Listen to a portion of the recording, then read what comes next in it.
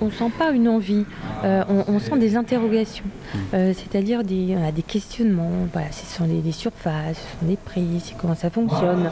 Donc euh, un intérêt. Donc c'est plutôt eux qui se préparent au cas où. mais je dirais que nous, dans, nos échanges, bah, il faut qu'on reste attractif et qu'on n'ait pas non plus l'impression d'avoir ce message envers les Britanniques en disant bah, chez nous, le monde est merveilleux.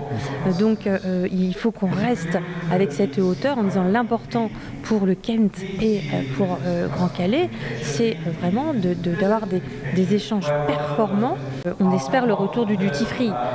et le duty free, c'est important parce qu'on voilà, fait tomber les douanes et par conséquent, nous devrions logiquement récupérer en fait le duty free. L'important aujourd'hui, c'est de voir quel est le périmètre. Le retour du duty free, il faut qu'il le soit au moins sur le périmètre de l'agglomération. Sinon, il n'a pas de sens. S'il est juste sur le port et sur le tunnel, ça voudrait dire que euh, les Britanniques viendront faire un aller-retour juste sur ces sites et ne viendra pas apporter en fait euh, son, euh, son activité économique dans le périmètre du territoire de la ville et de l'agglomération.